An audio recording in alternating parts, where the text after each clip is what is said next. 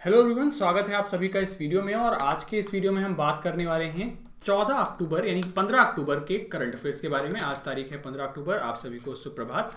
और आज की इस तारीख में हम 14 अक्टूबर को जो जो कुछ भी घटित हुआ, उसमें से हमारी पढ़ाई के लिए, हमारे एग्ज़ाम्स के लिए जो कुछ भी इंपॉर्टेंट है, उसके बारे में हम बात करने वाले हैं। तो शुरू करते हैं आज के अपने करंट अफेयर्स को द फ़र्स्ट क्वेश्चन तो पहला क्वेश्चन एज यूजल हमारा डे uh, का रहता है।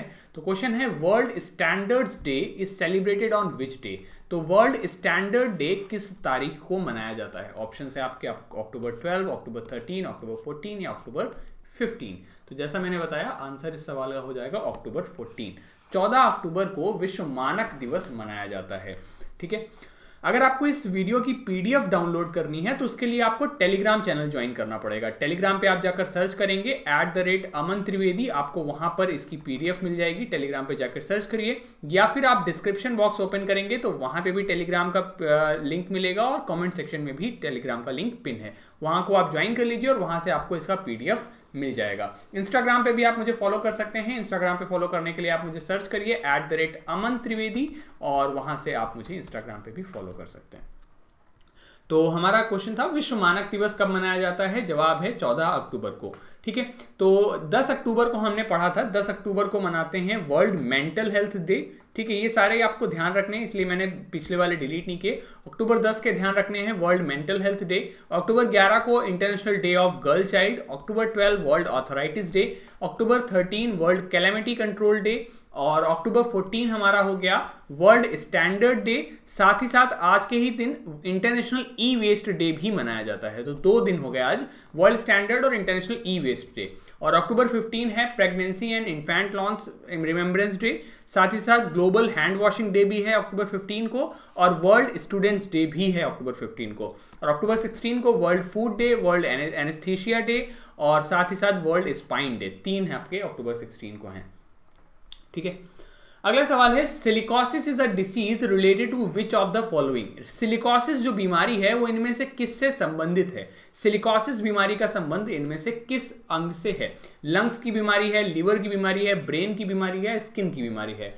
तो सिलिकॉसिस जो है आपका, सिलिकॉसिस लंग्स की बीमारी है, फेफड़ों से संबंधित बीमारी है। ठीक है, ये क्या है? ऑक्यूपेशनल लंग डिसीज है, जिसमें silicosis and of and fatal lung disease cause by breathing dust containing crystalline silica तो बेसिकली जो ऐसे लेबर हैं, जो ऐसे मजदूर हैं, जो ऐसी जगह पे काम करते हैं जहाँ पे पत्थर की घिसाई या कटाई वगैरह होता है, वहाँ पे मजदूरों को सिलिकॉसिस हो जाता है, क्योंकि आप उस बहुत ही माइन्यूट पार्टिकल्स होते हैं, आप उन्हें सांस के थ्रू अंदर ले लेते हैं और उसकी वजह से उन्हें सिलिकॉसिस हो जाती है। तो भारत में बहुत सारे वर्कर्स लंबे समय तक अनगिनत श्रमिक धूल के संपर्क में आने से धीरे धीरे मृत्यु की ओर बढ़ रहे हैं और इसे सिलिकॉसिस के रूप में जाना जाता है।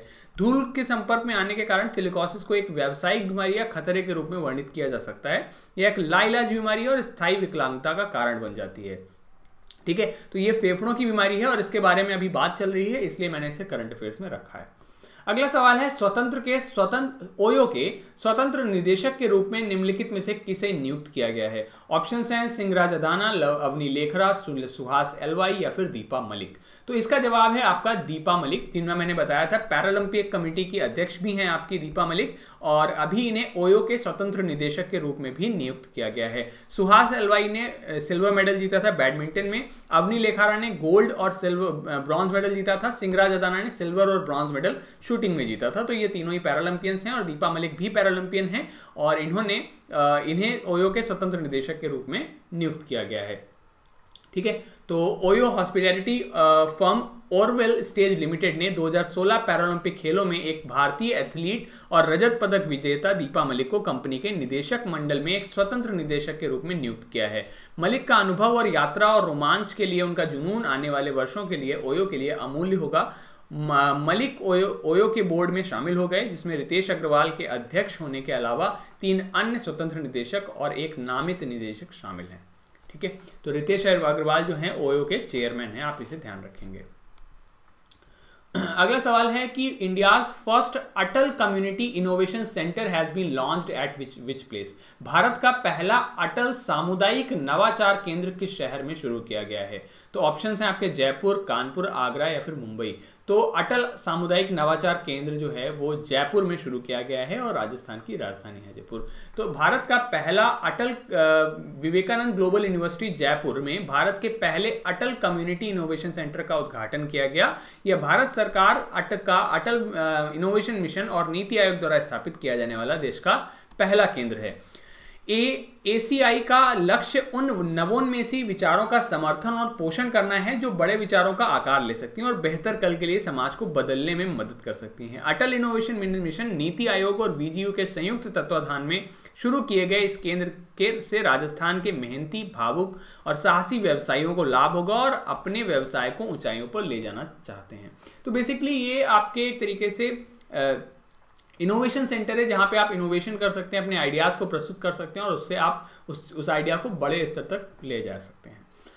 अगला सवाल है which bank is authorise to collect direct and indirect tax by RBI recently हाल ही में किस बैंक को डायरेक्ट और इनडायरेक्ट टैक्स कलेक्ट करने की अनुमति मिली है आरबीआई के द्वारा? ऑप्शन है ICICI bank Karur Vysya bank Airtel payments bank या फिर इंडस इंड बैंक तो जवाब है इसका Indus end bank. Indus end bank को हाल ही में आरबीआई द्वारा प्रत्यक्ष और अप्रत्यक्ष कर एकत्र करने के लिए अधिकृत किया गया है। ठीक है? इंडस इंड बैंक के सीईओ हैं सुमंत कटपालिया और हेडक्वार्टर है इसका पुणे में।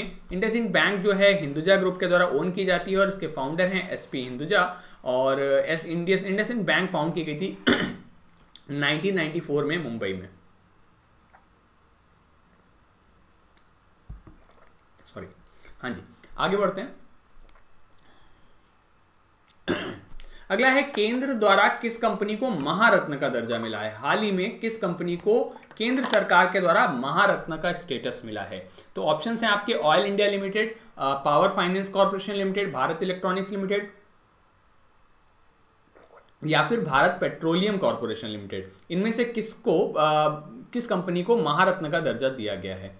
तो आंसर इस सवाल का है power finance corporation limited. Power finance corporation limited को भारत सरकार के द्वारा महारत्न का दर्जा दिया गया है। Oil India limited Bharat electronics limited और महा, भारत पेट्रोलियम कॉरपोरेशन लिमिटेड, ये सभी नवरत्न कंपनियाँ हैं। ठीक है, महारत्न स्टेटस क्या है आपका? भारत सरकार ने पावर फाइनेंस कॉरपोरेशन लिमिटेड का हेडक्वार्टर न्यू दिल्ली में है, इसे 1986 में बनाया गया था। इसके चेयरमैन और एमडी हैं रविंदर सिंह ढिल्लोन और हाँ भारत सरकार के द्वारा राज्य के स्वामित्व वाली पावर फाइनेंस कॉरपोरेशन लिमिटेड को महारत्न का दर्जा दिया गया। नया दर्जा पीएसपी पीएफसी को अधिक अधिक परिचालन और वित्तीय स्वायत्ता देगा। पीएफसी को 1986 में विद्युत मंत्रालय के स्वामित्व में एक भारतीय वित्तीय संस्थान के रूप में शामिल किया गया था। यह भारत की सबसे बड़ी इंफ्रास्ट्रक्चर फाइनेंस कंपनी है, जो विशेष रूप से पावर सेक्टर को समर्पित है। आप मुझे कमेंट सेक्शन में पावर मिनिस्टर का नाम बताएँगे। मैंने दो तीन दिन में लगातार उनका नाम बताया है। तो आप मुझे कमेंट सेक्शन में पावर मिनिस्टर का नाम बताएँगे। पीएफसी को महारत्ना का दर्जा देने से वित्तीय निर्णय लेने के दौरान पीएफसी बोर्ड को बढ़ी हुई शक्तियाँ प्रदान होंगी। महारत्न सीपीएससी को बोर्ड वित्तीय उद्यम और संपूर्ण स्वामित्व वाली सहायक कंपनियों को शुरू करने के लिए इक्विटी निवेश कर सकता है। ठीक है? हाँ जी।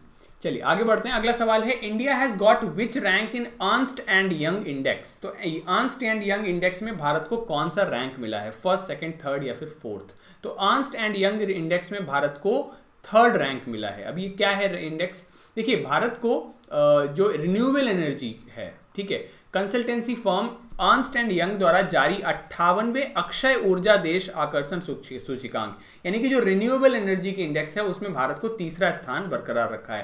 रिपोर्ट के अनुसार अमेरिका, मुख्य भूमि चीन और भारत शीर्ष स्थान रैंक में है, तीन रैंक बरकरार रखे हुए हैं। और Indonesia R E S A I के लिए एक नया प्रवेश करता है। इसमें इंडेक्स में पहली बार इंडोनेशिया की बात हो रही है।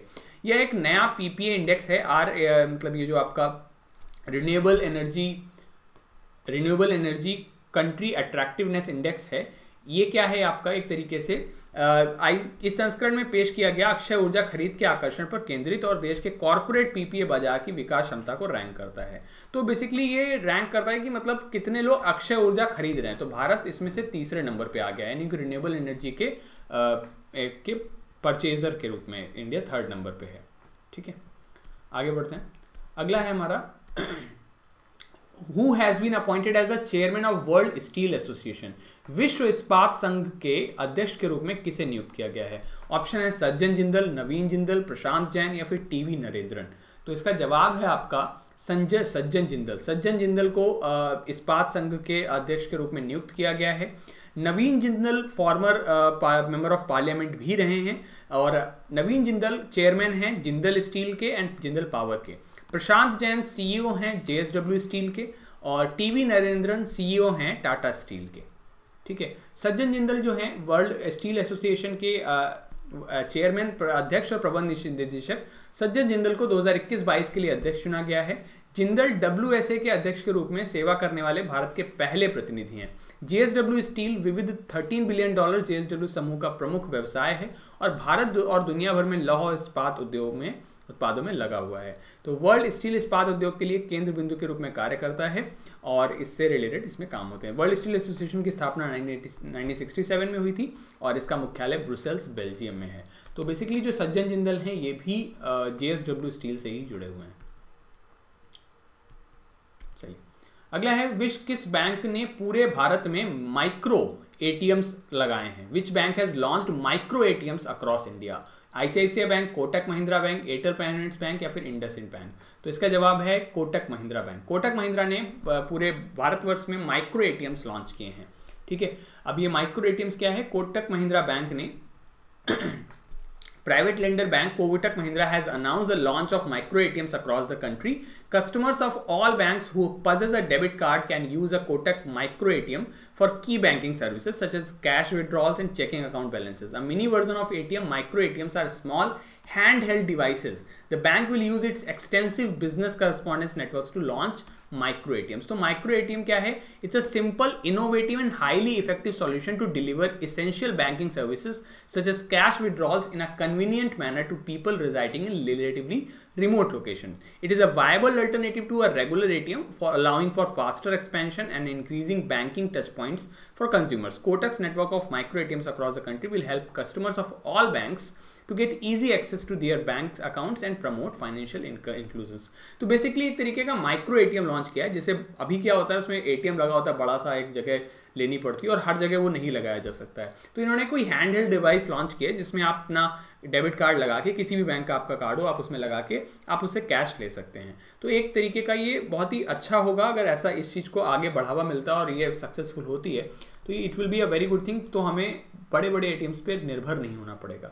कोटक महिंद्रा बैंक का एस्टेब्लिशमेंट हुआ था 2003 में और इसका हेडक्वार्टर मुंबई में है और इसके सीईओ हैं Uday Kotak. Who has been made brand ambassador of Fire Boltt Fire Boltt wearable watches बनाती है। इसका ब्रांड एम्बेसडर किसे नियुक्त किया गया है? रणवीर सिंह, सौरभ गांगुली, विराट कोहली या फिर अक्षय कुमार? तो रणवीर सिंह को क्वाइंसिच कुबेर का ब्रांड एम्बेसडर बनाया गया है। सौरभ गांगुली को कोका कोला का ब्रांड एम्बेसडर कंटिन्यू किया गया है। वो पहले से थे, अब उसे कंटिन्यू कर रहे हैं। विराट कोहली को फायर बोल्ट का ब्रांड एम्बेसडर बनाया गया है और Akshay Kumar My Lab Discovery Solutions के हाल ही में ब्रांड एम्बेसडर बने थे। ठीक है? अगला है what is the India's rank in global hunger index Bharat की विश्व हंगर इंडेक्स में कितनी रैंक है? Eighty third hundred hundred and second या फिर हंड्रेड एंड थर्ड तो इसका जवाब है हंड्रेड एंड थर्ड और ये काफ़ी दुखद है कि भारत की रैंक ग्लोबल हंगर इंडेक्स में इतनी ख़राब है। तो ग्लोबल हंगर इंडेक्स में भारत पा, पाकिस्तान बांग्लादेश नेपाल के पीछे 101वें स्थान पे आ गया है। ओके okay, मैंने हंड्रेड एंड थर्ड मार्क कर दिया था इसको आप करेक्ट कर लेंगे 101 कर लेंगे वन एंड फ़र्स्ट ठीक है 101 हाँ जी 101वें स्थान पर आ गया है इसके साथ ही पपुआ न्यूगिनी 102 पर अफ़गानिस्तान 103 पर नाइजीरिया 103 पर कॉन्गो 105 पर, जैसे सिर्फ़ 15 देशों का प्रदर्शन इस साल भारत से खराब है। मतलब सिर्फ़ 15 देश दुनिया में ऐसे हैं जो भारत से पीछे हैं, बाकी सारे के सारे भारत से आगे हैं। भारत वैश्विक भूख सूचकांक 2021 में अपनी 2020 रैंकिंग 94 थी पहले। उससे 10 स्थान, उससे सो, एक सौ सोलह देशों के बीच एक एकवें स्थान पर खिसक गया है, जिसे पाकिस्तान, बांग्लादेश और नेपाल से पीछे रखा गया है। 2006 में बनाया गया जीएचआई को शुरू में अमेरिका स्थित अंतर्राष्ट्रीय खाद्य नीति अनुसंधान और जर्मनी स्थित वेल्थबर्ग वेल्थ हंगर लाइफ द्वारा प्रकाशित किया गया था। 2007 में Irish NGO conserve world wide भी सहायक प्रकाशक बन गया। तो इसमें भारत की रैंक वन फ़र्स्ट है और ये काफ़ी ख़राब है। ठीक है? इसके अलावा एक और फैक्ट है, आप इसे नोट कर सकते हैं, याद रख सकते हैं। Upper limit for legal abortion increase till 24 weeks तो कुछ केसेस में स्पेशल कैटेगरीज के केसेस में, जो अपर एज है लीगल अबॉर्शन की, वो 24 वीक्स हो गई, जो कि पहले सिर्फ़ 20 हफ़्ते थी। तो पहले सिर्फ़ 20 हफ़्ते तक अबॉर्शन करवाया जा सकता था, अभी 24 हफ़्ते तक बढ़ा दिया गई सीमा इन ओनली स्पेसिफिक केसेस कुछ ही केसेस में। निम्नलिखित में से किस फुटबॉलर ने पेले का रिकॉर्ड तोड़ा हाल ही में इनमें से किस फुटबॉलर ने पेले का रिकॉर्ड तोड़ा है? ऑप्शन है नेमार मेसी रोनाल्डो या सुनील छेत्री? तो इसका जवाब है सुनील छेत्री। हालाँकि बाकी लोग भी तोड़ चुके हैं बट हाल ही में भारत से सुनील छेत्री ने पेले का रिकॉर्ड तोड़ा है। और सुनील छेत्री कौन है? सुनील छेत्री भारतीय स्कीपर हैं। सुनील छेत्री भारतीय कप्तान हैं। हम भारतीय फुटबॉल टीम के। ब्राज़ील के दिग्गज पेले का अंतर्राष्ट्रीय गोल रिकॉर्ड तोड़ दिया है। भारतीय फुटबॉल कप्तान सुनील छेत्री ने ब्राज़ील के महान फुटबॉलर पेले के अंतर्राष्ट्रीय गोल रिकॉर्ड को 13 अक्टूबर 2021 को मालदीव के खिलाफ चल रहे 2021 S A F F championship के मैच के दौरान तोड़ दिया। सुनील छेत्री ने मालदीव के खिलाफ भारत के मैच में बासठवें मिनट में गोल करके 77 गोल के अंतर्राष्ट्रीय गोल रिकॉर्ड को पीछे छोड़ दिया। इसके बाद छेत्री ने एक और गोल किया और उसके अंतर्राष्ट्रीय गोलों की संख्या हो गई 79 तक ले गए, जो दुनिया में तीसरे सक्रिय अंतर्राष्ट्रीय गोल स्कोरर बन गए हैं। अन्य दो सक्रिय खिलाड़ी जो छेत्री से आगे हैं, उसमें अर्जेंटीना के लियोनल मेसी अस्सी अंतर्राष्ट्रीय गोल हैं उनके और पुर्तगाल के क्रिस्टियानो रोनाल्डो 115 अंतर्राष्ट्रीय गोल हैं। ठीक है? अब यहाँ पे लियोनल मेसी और क्रिस्टियानो रोनाल्डो के फैंस भेड़ सकते हैं। सुनील छेत्री कौन है? सुनील छेत्री भारतीय राष्ट्रीय फुटबॉल टीम के वर्तमान कप्तान हैं। वो भारत के लिए सर्वाधिक कैप्ड खिलाड़ी और सर्वाधिक शीर्ष गोल करने वाले खिलाड़ी बन गए अक्टूबर 2021 तक वह सक्रिय खिलाड़ियों में सब, तीसरा सबसे बड़ा अंतर्राष्ट्रीय गोल स्कोरर और अब तक का छठा सबसे अधिक गोल करने वाले खिलाड़ी बन गए हैं। ये सक्रिय की बात हो रही है जो अभी भी खेल रहे हैं। उन्होंने भारत को 2007, 2009, 2012 नेहरू कप और 2011 एस चैंपियनशिप जीतने में मदद हासिल की थी उन्होंने भारत को 2008 S A champion challenge cup जीतने में भी मदद की इसके माध्यम से भारत ने 27 वर्षों में पहले एफ़ ए सी एशियाई कप के लिए क्वालिफाई किया था क्षेत्री को 2007, 2011, 2013, 2014, 2017, 2018, 19 में रिकॉर्ड छह बार A I F F player of the year भी चुना गया है और उन्हें 2011 में प्रतिष्ठित अर्जुन पुरस्कार 2019 में भारत के चौथे सबसे बड़े नागरिक पुरस्कार पद्मश्री से भी सम्मानित किया गया था। और अभी जो हमारी रैंकिंग है, उसमें नंबर वन पे है क्रिस्टियानो रोनाल्डो, जो कि पुर्तगाल से हैं। उनकी वन रैंक है। अली दाई ईरान के थे, इनकी 109 रैंक है। मुख्तार दहारी मलेशिया के 89 रैंक है। 89 गोल हैं इनके। और फेरिक पुस्कास हंगरी के हैं 84 गोल्स हैं। लियोनल मेसी अर्जेंटीना के फिफ्थ नंबर पे हैं 80 गोल्स हैं, और गोल्ड फ्रे चैतालू और सुनील छेत्री अभी सिक्स स्पॉट शेयर कर रहे हैं, ये जाम्बिया के हैं और इंडिया के हैं। Ali Mabkhout United Arab Emirates के 78 और हुसैन सईद इराक के 78 और पेले ब्राज़ील के 77 गोल्स से टेंथ नंबर पे हैं। तो भारत के सुनील छेत्री सिक्स स्पॉट पे आ गए and most probably he will also equal at he will be share the spot with Lionel Messi most probably ठीक है? इसके अलावा आप एक और फैक्ट याद रख सकते हैं कि भारत का पहला वन हेल्थ कॉन्सोर्टियम लॉन्च किया गया अभी वन हेल्थ कॉन्सोर्टियम है क्या? वन हेल्थ कॉन्सोर्टियम ने देश के उत्तर पूर्वी हिस्से सहित भारत में जेनोटिक के साथ साथ ट्रांस बाउंड्री रोग जनिको यानी कि ऐसी बीमारियाँ जो कि वायरस बैक्टीरिया संक्रमणों के से हो रही हैं, उनकी निगरानी करने के लिए परिकल्पना की है। चौदह अक्टूबर 2021 को जैव प्रौद्योगिकी विभाग की सचिव डॉक्टर रेणु स्वरूप ने वस्तुतः भारत का पहला वन हेल्थ कॉन्सोर्टियम लॉन्च किया है। तो इसके तहत मतलब कोई भी ऐसी बीमारी है जो सर्व, इस पर सर्वलांस रखा जाएगा जो वायरल बैक्टीरियल इन्फेक्शियस डिसीज है। अगला है ग्लोबल क्लाइमेट रैंक इंडेक्स में भारत का रैंक क्या रहा है? तो फ़र्स्ट फिफ्थ सिक्स या फिर सेवन्थ तो यहाँ पे हम अच्छा कर रहे हैं। इंडिया की rank world global climate rank में सेवन्थ रही है। ठीक है नंबर वन पे मोजाम्बिक है सेकंड में जिम्बाब्वे है थर्ड पे बहामास है फोर्थ पे जापान है मलावी है सिक्स पे इस्लामिक रिपब्लिक ऑफ़ पाकिस्तान से है एंड सेवन्थ का मेड इंडिया है। ठीक है एट्थ पे साउथ सुडान नाइन्थ पे नाइजर या टेंथ पे बुलाबिया तो India has improved its ranking from last year पिछले साल से बेहतर किया है। 2021 के सूचकांक में सातवें स्थान पर है, जबकि 2020 के स्थान में पाँचवें स्थान पर है। ठीक है मतलब सुधार किए हम नीचे आए हैं तो ये बेहतर है। अंतर्राष्ट्रीय पर्यावरण थिंक टैंक जर्मन वॉच ने global climate risk index sorry मैंने बोल दिया था ये अच्छा है, मैंने एक चीज़ मिस कर दी। Global climate risk rank risk index होगा यहाँ पर। ये थोड़ा सा मैंने गलत लिख दिया है, तभी ये मैंने, मेरे, मैंने बोल दिया कि वो बेहतर किया है। यहाँ पर रिस्क इंडेक्स करिए तो ग्लोबल क्लाइमेट रिस्क है। ठीक है?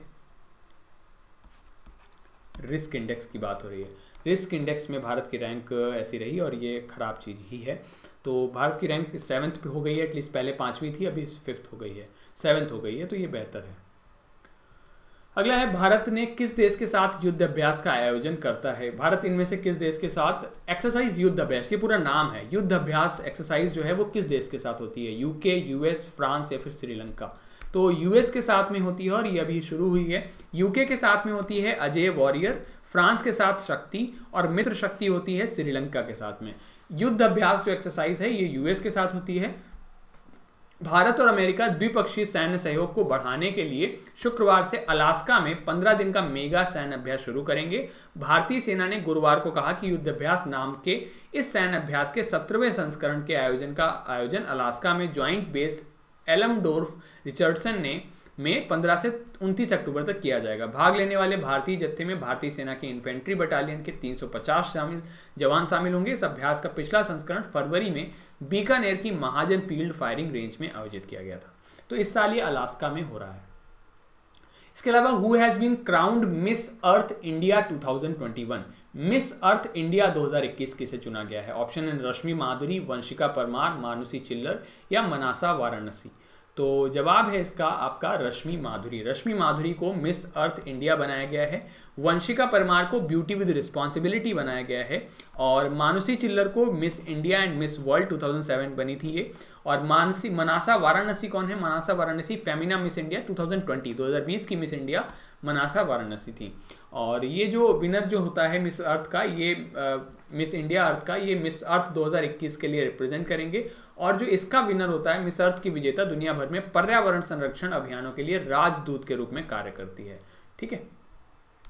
चलिए, अगला है who is the PM of Armenia Armenia का पीएम कौन है? Mahinda Rajapaksa Nikol Pashinyan Recep Tayyip Erdogan या फिर एमैनुअल मैक्रॉन तो इसमें से जवाब है आपका निकोल पाशनी, पाश, पाशनियान और महेंद्र राजपक्षे श्रीलंका के प्राइम मिनिस्टर हैं। रेसेप, ये टर्की के आपके हेड ऑफ़ स्टेट हैं। हाँ ये टर्की के प्राइम मिनिस्टर हैं आपके और इमैनुअल मैक्रॉन ये फ्रांस के हैं। प्रेसिडेंट हैं तो निकोल पैशनियान आपके अर्मेनिया के हो गए हैं। और इनकी बात हम क्यों कर रहे हैं? क्योंकि हाल ही में हमारे minister of external affairs S Jaishankar इनसे मिले हैं। ठीक है? अमेरिका आर्मेनिया जो है वो वर्ल्ड मैप में आपके यहाँ पर है अगर आप देखेंगे इसे तो। और इसकी कैपिटल है येरेवन और करेंसी है आर्मेनियन ड्राम ठीक है?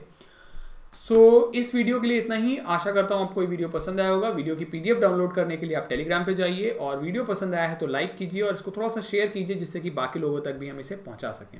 ठीक है? बाकी एडिटोरियल वाली क्लास भी आपकी शुरू हो जाएगी। अब से रेगुलर हो जाएगी वो चीज़। ठीक है? So thank you so much for watching this video have a very great day take care bye